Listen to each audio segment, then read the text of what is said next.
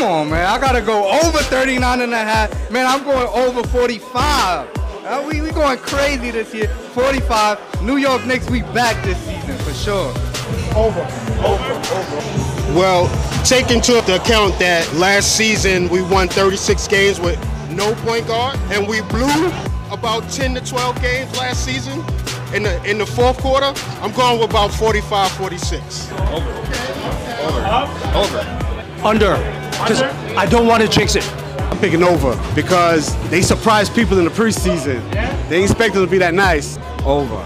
Because they look good with our new point guard. It's taking some pressure off of Randle. Randle turned the ball over twice in the preseason. You tell me.